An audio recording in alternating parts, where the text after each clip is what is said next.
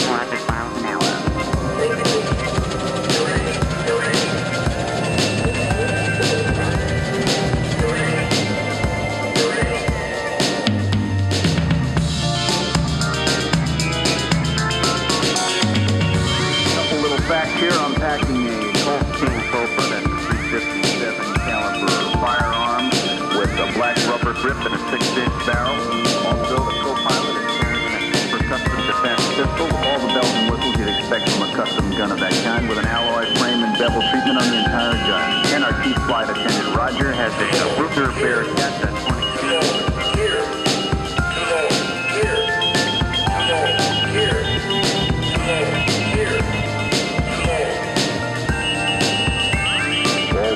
capable of piercing body armor at a up to 27 feet. and put a hole in human bone and flesh the size of the Grand Canyon, which, by the way, coming up on the left-hand side of the plains to just sit back and relax and enjoy